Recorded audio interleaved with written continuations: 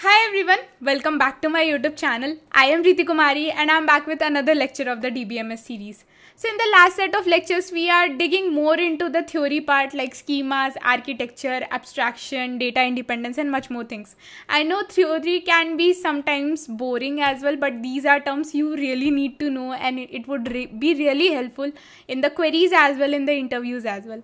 So today like we talk mostly about tables, right? What is database? Collection of interrelated data some tables. But like there are many small concepts you need to know like in a table like the rows the columns then the primary key then some constraints. So these are some smaller terms you should be knowing. If you are knowing you can definitely skip this video because this is very beginner level video because again i am taking consideration that someone who is a very beginner who doesn't have any knowledge about databases database management system and much more things can at least understand this series. And it would be helpful to people who are doing BSc, BCA and everyone, right? So because of that, I thought to like explain the simpler terms. But again, if you have an idea, I would suggest that watch it at 2x, but uh, it would surely refresh all the uh, like all the details you had in your mind or all the things you have remembered so it would be really a refresher for you so uh, without any further delay let's get started so in this particular video, we would be looking more on the essential components of table. So uh, again, you would be saying ki why you are teaching us what is row, what is column. But again, there are some words for rows, some words for column and much more things. So let's look at it and then we will uh, start with all the ER models and then the SQL queries and much more things. So basically the very first term is row or tuple. So basically the row, like in table what we say is ki this is a table okay so this these are the columns and these are the rows. But consider that someone asks you like what is the value or uh, what are the elements present in this particular tuple it might sound confusing na sometimes because we generally remember these terms rows and columns. We don't know what is tuple we don't know what is attribute. So in like this particular definition we are definitely going to learn ki row is also called as tuple and column is also called as attribute in dbms so basically rows are known as records. See we got a third name as well right? So first is row second is tuple and third is records. So rows are also known as records or tuples and it represent individual entries or instances of data within the tuple within the table. So basically again uh, if we are uh, inserting any individual entries for some particular columns like consider name consider class consider uh, roll number. So if we are giving some individual entries for everything that is a row. Like uh, the place where we are giving individual entries in the table so uh, there is one more term which is kind of can be asked in your online assessment test of like one mask or uh, in your like semester exams as well because like again uh, people tend to forget the name like tuple for row and record. So there is one more thing which is cardinality. So basically what is cardinality now the number of rows in a table is called as cardinality. Consider that this is my table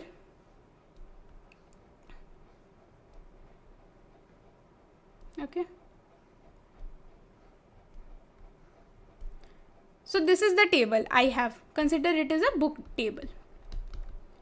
Now someone asked me what is the cardinality of this table. So what i'll do is i'll count the number of rows. So this is r1 this is r2 this is r3 and this is r4 so altogether the cardinality becomes 4 so cardinality is basically the number of rows in the tables.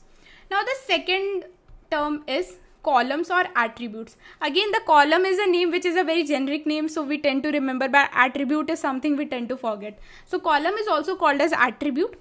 Column represent the attributes of the data being stored and are named to describe the information they hold. Consider like ID, name and so basically columns are basically the attributes the table is having like consider that i am a person i may have some attributes like i may have a id i may have a name i may have a age i may have a roll number and much more things so basically all the attributes of mine i can store it in table uh, in the column in the tables. So basically column represent the attributes of the data which is being stored and are named to describe the information they hold. So consider that uh, there is a table consider okay so now I gave here Riti okay I should have make a bigger table. Okay. So this is a table. And here it is Riti. And here I have given 99372 dot dot dot now can you understand what is Riti and what is 99372 dot dot? So basically what we do is na ki we give a attribute name. So basically this is a name is Riti and phone number is this thing. So basically whenever we define any attribute for all the entries which are feeded in the row that is called as column. So again uh, as we read about cardinality in row there is one thing which is called as degree which is also the number of columns in a table. Okay so T is a typo. So number of columns in a table is called as degree. So basically for this case the number of columns are C1, C2, C3 and C4. So overall the degree becomes 4. So basically cardinality is the number of rows, degree is the number of columns, rows is also called as tuples or records, column is also called as attributes. So you can remember all these terms. Now coming to the next slide, this is a table which I have taken for reference. So basically you can see these are all the rows or tuples. These are all the columns and attributes. So इसके बारे में तो we got a clear understanding what is rows and what is columns. But what is this term primary key? Like what is this primary key? So primary key is something now which uniquely identifies the table. So let's look at it in the next slide. So basically keys are at number 2 but let's see with the constraint and then we will come to keys. So what are constraints? So constraint define rules or condition that must be satisfied by the data in the table. Common constraint which include uniqueness, nullability, default values and much more things. So consider I'm making a table. Okay? Up in that table, there could be some fields which could be null. There could be some fields which couldn't be null. Consider that I am making a table about person and I am uh, like mentioning like I am making Aadhaar card of a person. Okay?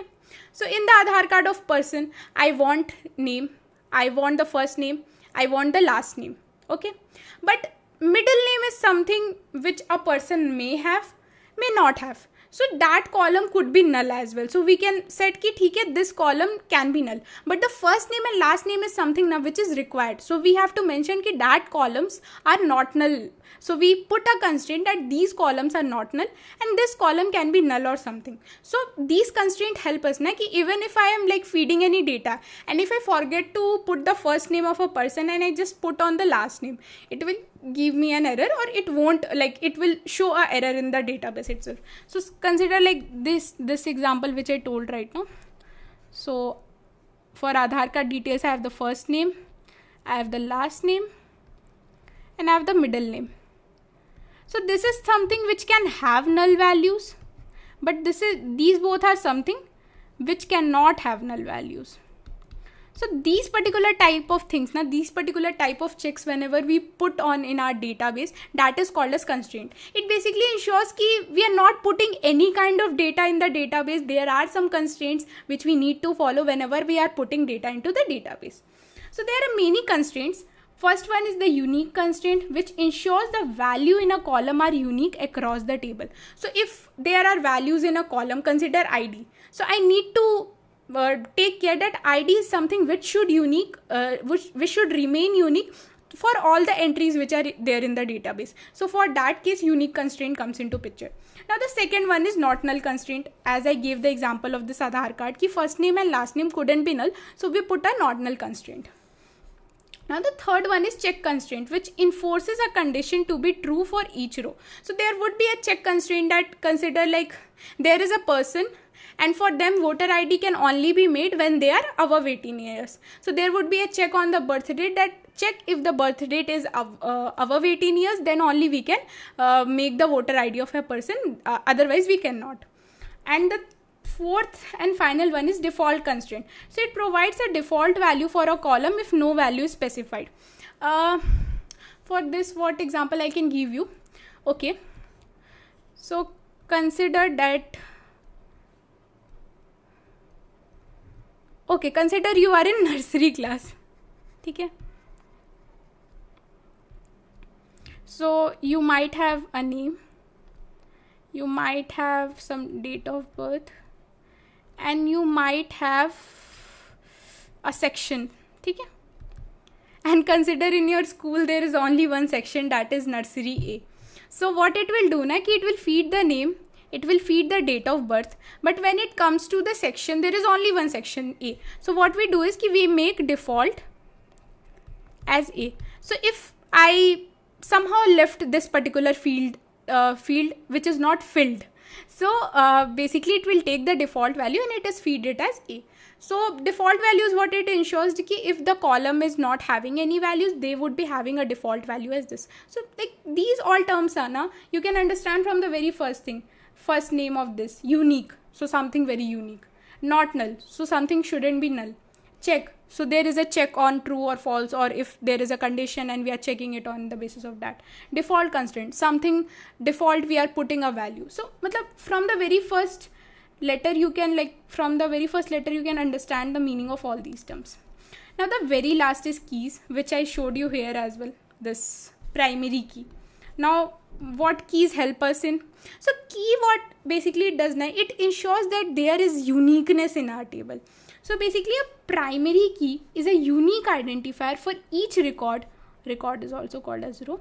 So each record in the table it ensures that each row can be uniquely identified and accessed within the table.